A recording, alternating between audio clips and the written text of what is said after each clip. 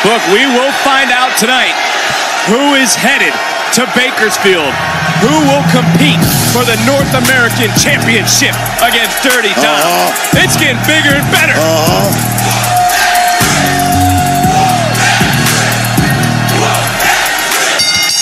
Following contest is scheduled for one fall. Introducing first, Trick Williams.